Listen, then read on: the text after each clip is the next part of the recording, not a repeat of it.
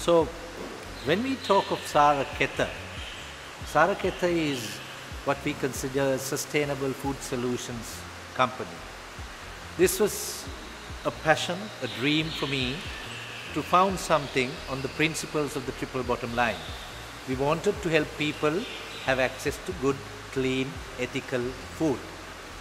And having spent close upon 15 years in the clothing industry, I was inspired to see how we could take a value chain approach that the clothing industry adopted and replicate it in the agriculture value chain.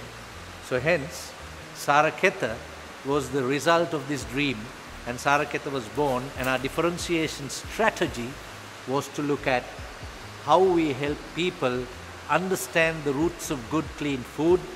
Sri Lanka has always been very sustainable in our food habits. How can we help people to go back to their roots and to give simple, accessible solutions of good, clean, ethical food?